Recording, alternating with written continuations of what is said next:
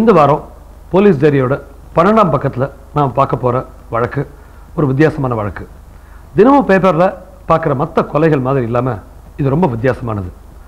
யூஸ்வலாக எல்லாரும் ஒரு ஆதாயத்தை கொலை பண்ணுவாங்க. இல்லை சந்தேகப்பட்டு கொலை பண்ணலாம். இல்லை சில கொலைகளுக்கு காரணம் பெண்களாக இருக்கலாம். வறுமையின் எல்லைக்கே போய் குடும்பத்தை மட்டும் இல்லாமல் தன்னையும் தானே கொலை பண்ணிக்கிறவங்களும் நிறைய பேர் இருக்காங்க. ஆனால் இன்னைக்கு பார்க்க போகிற இந்த வழக்கு இதுக்கெல்லாம் அப்பாற்பட்டது. வெரி வெரி ரேர் இறந்து போனவர் பேர் பாலசுப்ரமணியம். வயசு ஐம்பது. வெங்கடேசபுரம் காலனி அயனவரத்தில் தெற்கு தெருவில் வசிச்சுட்டு இருந்தார் இவர் சென்னையை சேர்ந்த பிராமண சங்கத்தில் ஜாயின்ட் செக்ரட்டரியாக இருந்தார். கடந்த ஜூலை பதினெட்டு.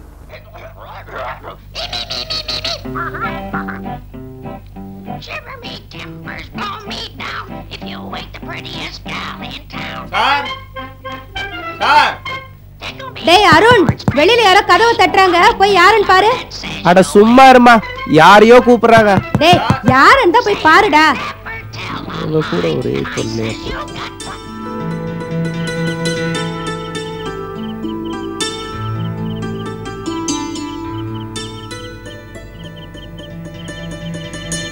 யார் வேணும்?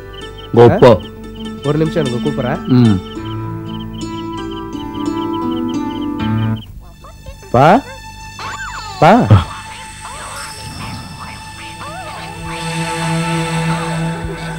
யாரோ உங்களை தேடி வந்திருக்காங்கப்பா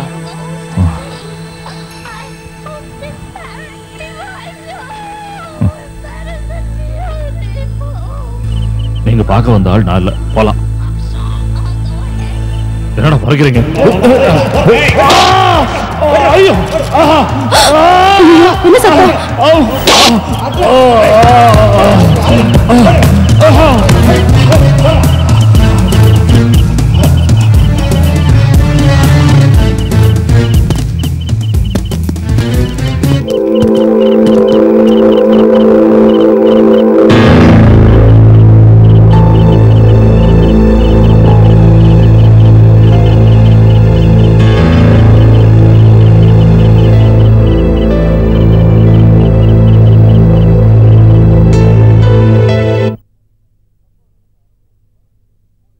சம்பவம் நடந்த அரை மணி நேரத்துக்குள்ள போலீஸார் அங்கே விரைஞ்சு வந்தாங்க. பாலசுப்ரமணியத்தை உடலை கீழ்ப்பாக்கம் மருத்துவமனைக்கு எடுத்துட்டு போனாங்க. டாக்டர்ஸ் பாலசுப்ரமணியம் இறந்துட்டதாக கூற முதல் கட்ட விசாரணையாக கொலையாளிகளை நேரடியாக பார்த்த பாலசுப்ரமணியத்தோட ரெண்டாவது மகன் அருண்குமாரை விசாரணை பண்ண ஆரம்பிச்சாங்க. தம்பி உங்க துக்கம் எனக்கு புரியுது. ஆனாலும் எங்க கடமையை நாங்க செய்தாகணும் பாருங்க. கொலையாளிகளை நேர்ல பார்த்தது நீங்க ஒருத்தர் தான். அவங்க எப்படி இருப்பாங்க? சாரி சார் இருட்டில் அறகுறையா பார்த்ததுனால சரியா தெரில சார் சரி. அவங்க தோராயமான வயசு என்னன்னு தெரியுமா உங்களுக்கு? எல்லாம் யங்ஸ்டர்ஸ் சார் இருபதுல இருந்து இருபத்தஞ்சு வயசுக்குள்ள இருக்கும் சார் இப்போ நீங்க போகலாம். தேவைப்படும் போது நீங்க திருப்பி வரணும். ஓகே சார் ஓகே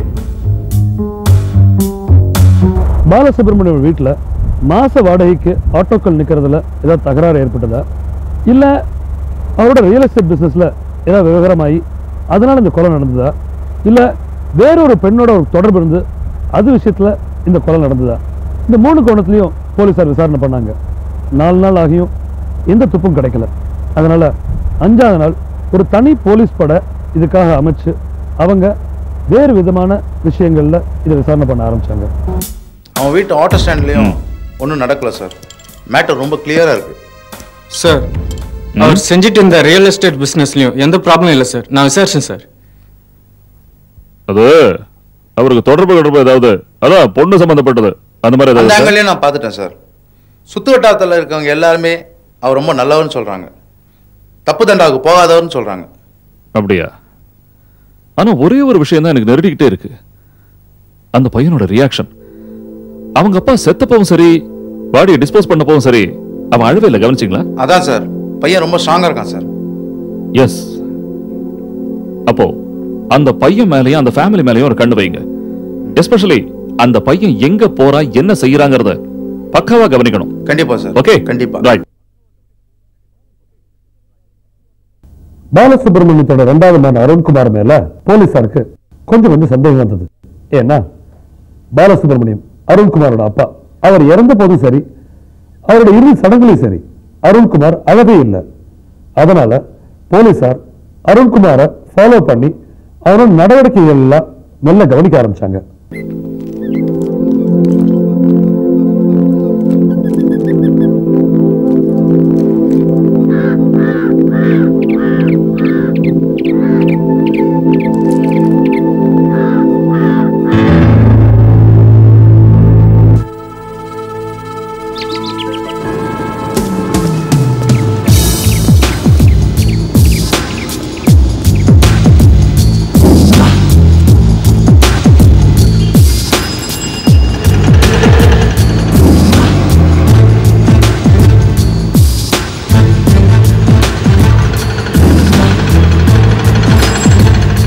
பார்த்து கிளம்பிட்டோம் கரெக்டாக ஃபாலோ பண்ணுங்க okay Roja okay sir over sir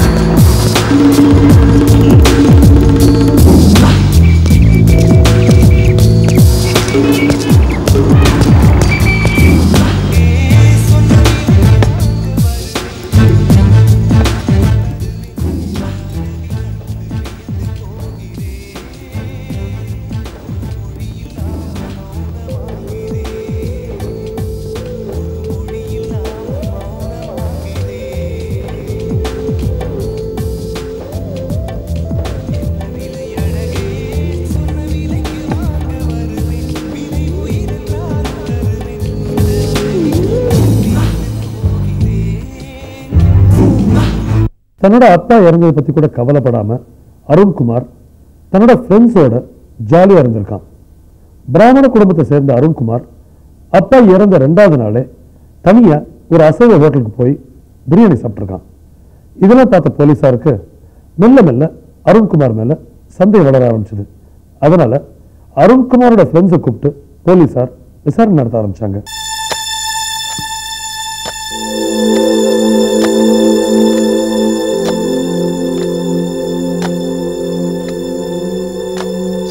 எனக்கு கூட தெரியாது சார் ஃப்ரெண்டு தான் சார் ஒன்னா கிரிக்கெட் விளையாடுவோம். அவன் வேற காலேஜ் நான் வேற காலேஜ் சார் அதனால என்ன? இதுல தயங்குறதுக்கோ பயப்படுறதுக்கோ ஒண்ணும் இல்லப்பா. நீ எங்களுக்கு உதவி செய்யற அவ்வளவுதான். அருண்குமார் அவங்க ஃபேமிலி பத்தி ஏதாவது உங்ககிட்ட சொல்லியிருக்கானா? சொன்னா சார் என்ன சொன்னான் அவனுக்கும் அவங்க அப்பாவுக்கும் ஸ்மூத்தான ரிலேஷன்ஷிப் இல்லை சார் அப்புறம்? அப்புறம் சொன்னா சார் சொல்லு தயங்காத. அவங்க அப்பா சொல்லு. அவங்க அப்பா செத்தாதான் சார் அவனுக்கு நிம்மதி சொன்னா சார்.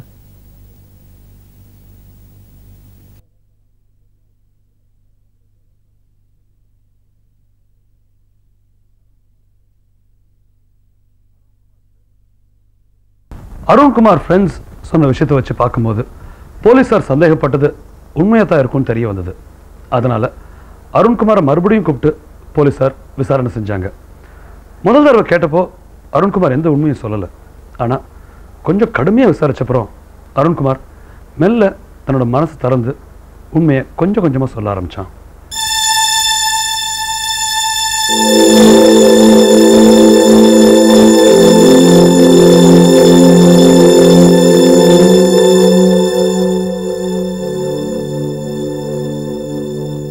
சார் எங்க அப்பா மாதிரி கொடுமையானவர் இந்த லோகத்துல யாரும் இல்லை சார். எங்களை ஒரு பெத்த பெத்த பிள்ளை மாதிரி வளர்க்கல சார் எங்களை ஒரு அடிமைங்க அடிமைங்க மாதிரி தான் சார் வளர்த்தாரு.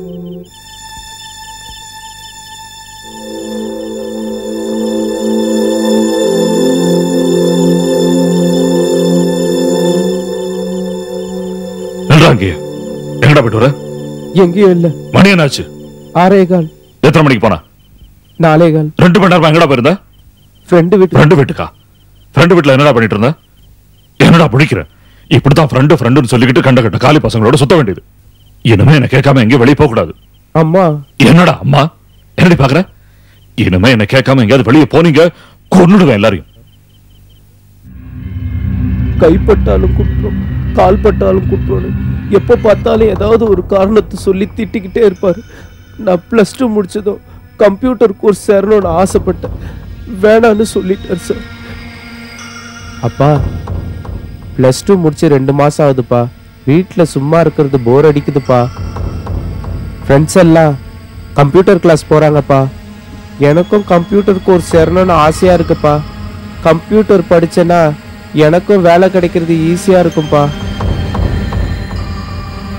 Computer course சேரட்டுமாப்பா. அப்பா உங்களை தான்ப்பா. கம்ப்யூட்டர் கிளாஸ் சேரட்டுமாப்பா. பா ப்ளீஸ்ப்பா முடியாது. ஆர்டிஓ ஆஃபீஸில் வேலை பார்த்தேன். அங்கேயும் வேலை பார்க்க வேணாம். நல்லது இல்லைன்னு சொல்லிட்டார் சார்.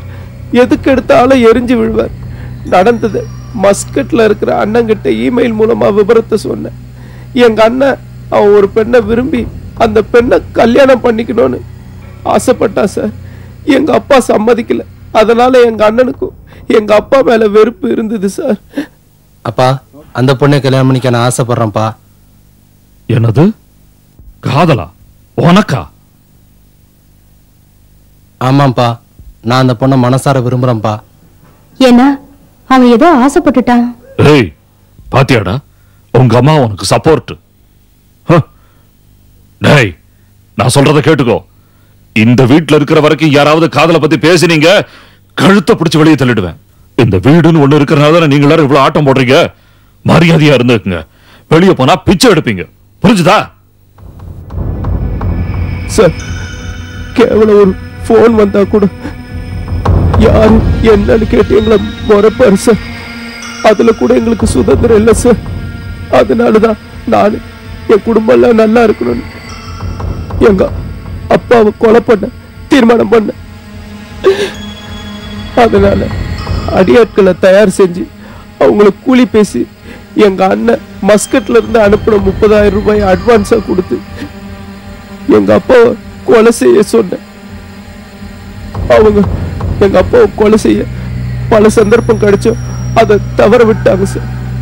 அதனால தான் அவங்கள எங்க வீட்டுக்கு வர வச்சு அப்பாவை கொலை செய்ய வச்சேன் சார்.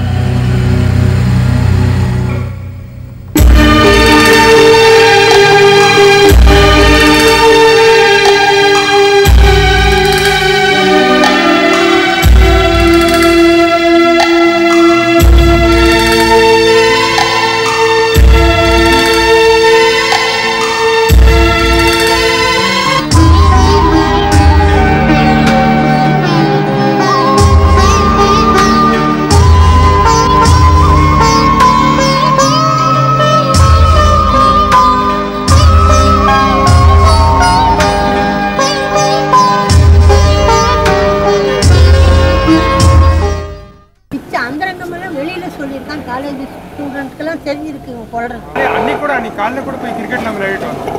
ரெண்டு மணிக்கு கிரவுண்டு போயிட்டு ஆறரை மணி வரைக்கும் என்னோட தான் விளையாடிட்டு கிரிக்கெட் ஆடிட்டு தான் வந்தான். அப்போ கூட எங்கிட்ட உண்மை சொல்லல.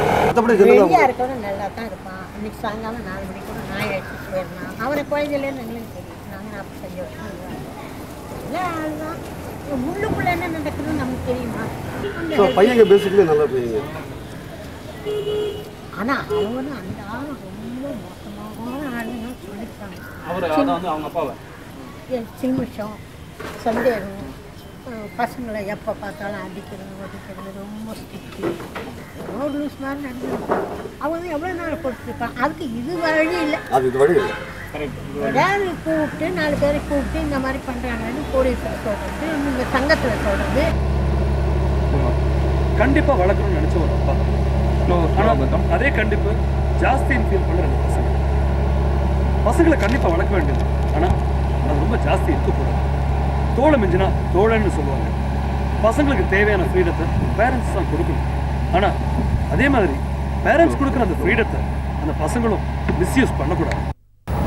இந்த அப்பா உள்ள உறவை பற்றி ஒரு சைக்கியாட்ரிஸ்ட் என்ன சொல்றாருன்னு கேட்கலாமா?